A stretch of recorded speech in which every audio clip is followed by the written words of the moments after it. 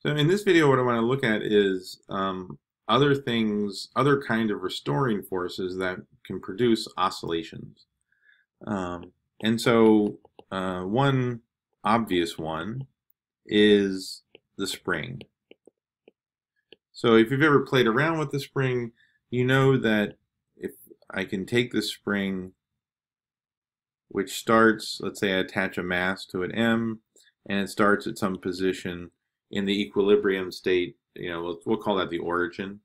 And then I can stretch out the spring to a position now x max.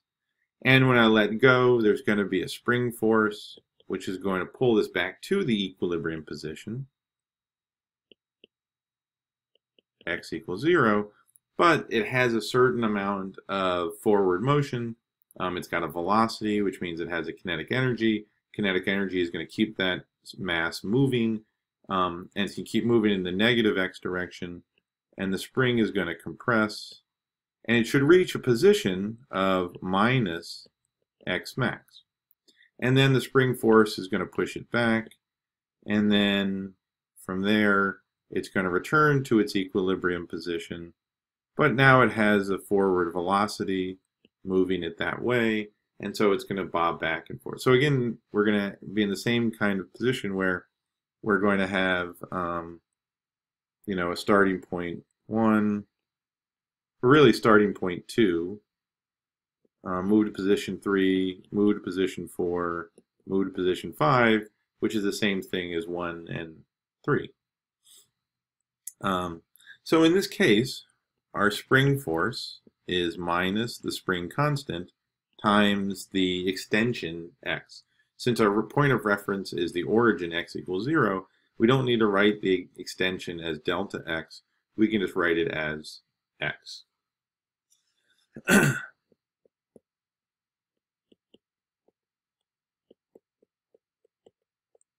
so this is going to be another example of um, oscillations or, or um, simple harmonic motion, sometimes it's called. In this case, the amplitude um, is just x max. Okay. Now, what I want to look at is an, another interesting case where what if we put another force in there? What if we hang this spring in the y direction and we allow gravity to act on it? So let's say we start with a spring um, in some position of um, y equals 0, and then we let it go, and it extends itself to a position delta L, and then we don't touch it anymore because what we have now is the force of gravity mg, which is counteracting the spring force, which is trying to pull it up. But now we apply another force, we stretch it down even further to a new position, which we're just going to call y. Um, okay. Um, so uh, let me readjust this and not call the starting position, the equilibrium position, y equals 0, um, let's call this the equilibrium position. We're going to call this y equals 0. so I had to extend the, the spring a length delta L to get to our origin of y equals 0. But now that's much, much easier to measure the extension um, y, uh, this length here, um, from its uh, new equilibrium position, which is basically delta L versus the length of the spring. Okay. Um, yeah, so here is equilibrium.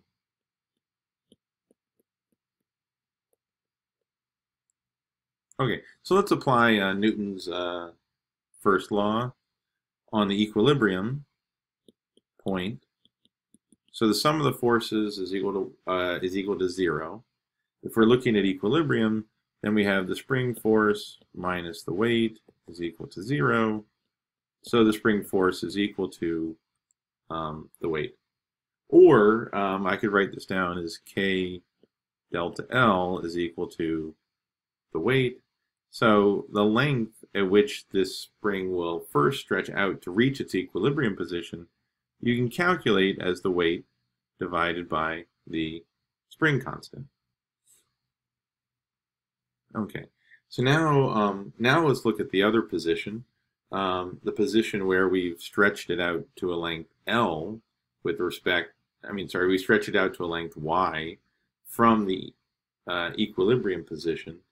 And so the sum of the forces um, is going to be equal to um, basically um, some net force which is going to be the new spring force minus the weight. Okay. so um, this new spring force is a length delta L plus Y from the uh, length of the just the spring minus the weight um, and is equal to my net force and so now if I put things in, um, k delta L plus ky minus mg is equal to my net force.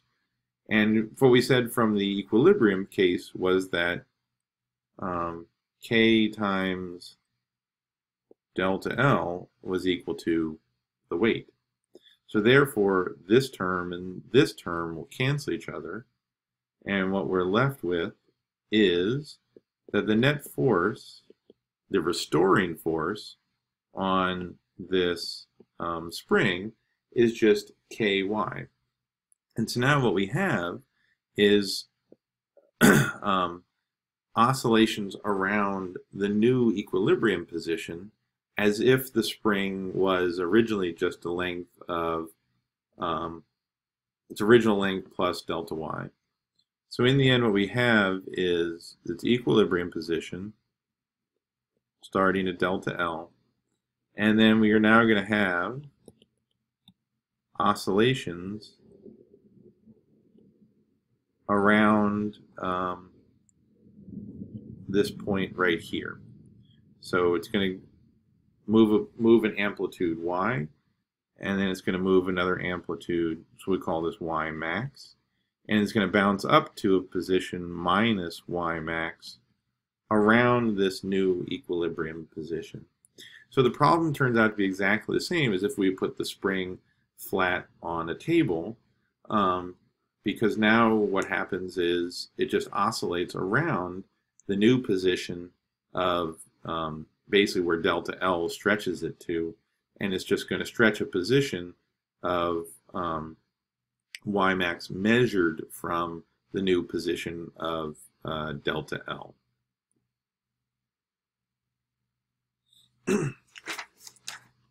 okay. Um, the next example we can take a look at is the pendulum.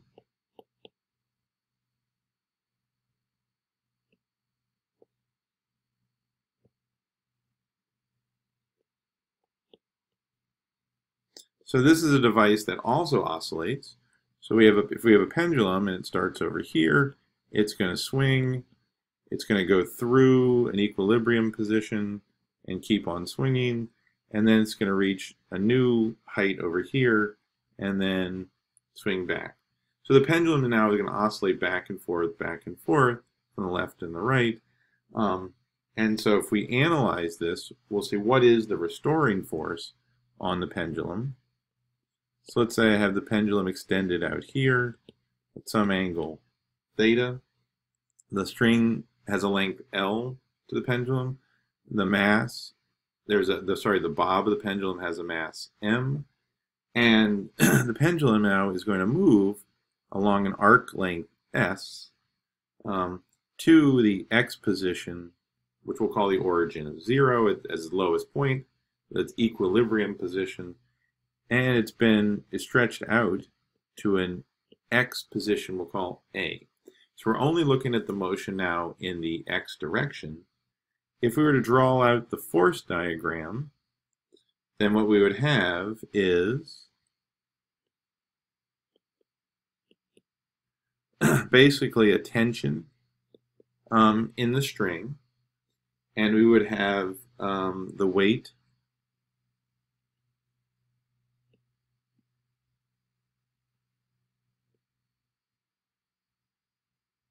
pulling down this way, which means there's a component of the weight, um, weight sine um, of theta. Uh, now, I know it's sine theta because this is the angle theta, which means this is the angle theta. If these two are, these two vectors are 90 degrees with each other, that means this angle right here is also um, theta. And if that's theta, then um, this triangle here, which is not drawn very well, um, this makes the weight the hypotenuse, and so um, we should get, uh, oh, I'm sorry.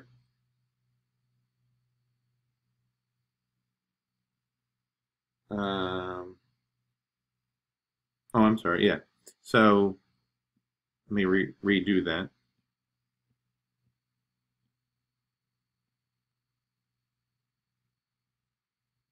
That means this angle here is theta. This angle is going to be um,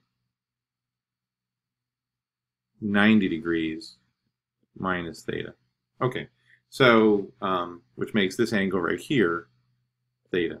So um, a little bit complicated, but in the end, just trust me in the fact that um, this vector here, the component that is moving it um, is the weight times the sine of the angle. So if we look at the um, the sum of the forces in this direction right here, we can call that x prime, then the force is minus the weight times the sine of theta. So that's the force in the x prime direction. And um, which I can write as minus mg sine theta. And now if I use something called the small angle approximation, for, for angles less than 20 degrees, the sine is approximately equal to in magnitude just theta if I measured in radians.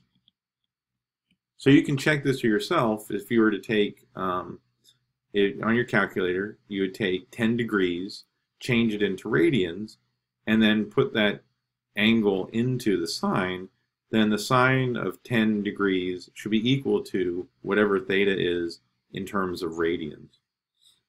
But if that's the case, we can go back to our original pendulum. And our original pendulum here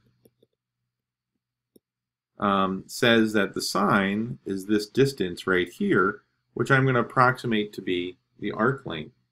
So therefore, um, this sine uh, of uh, theta, which is approximately angle theta, I can write down now as the arc length divided by the radius. Because you remember the arc length formula, S, was the radius times the angle in radians. Okay, so finally now we have something for um, the sine value so that means the restoring force here um, so this restoring force Fx prime is equal to minus mg times the sine, which is really the arc length over L. So minus mg sine divided by L. And so um, the nice thing now is that it's basically um, linear with the um, distance s that you extend the pendulum to.